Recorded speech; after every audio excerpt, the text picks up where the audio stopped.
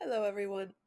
Um, so sorry I'm not with you in class today. I got sick over this long weekend, and I'm not going to be there for a couple more days, I'm afraid.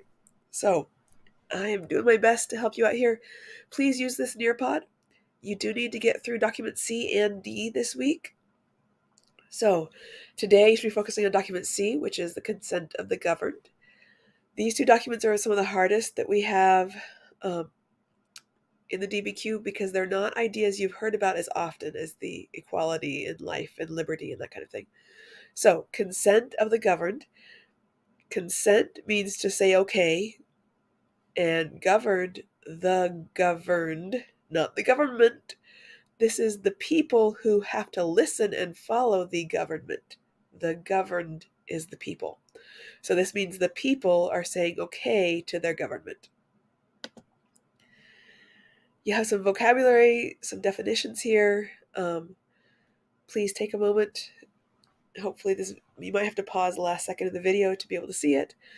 But when you get the definitions copied, go on to the next slide of the Nearpod and um, follow along that way. That way, I'm here helping you out. Um, the consent of the governed. These are four examples. Some of them are not how people show consent. Some people, some of these are the ways that people show they do not consent to the government. And so protesting shows they do not agree, they do not consent to the government, what the government is doing. Petitions are also usually they do not agree with what the government is doing.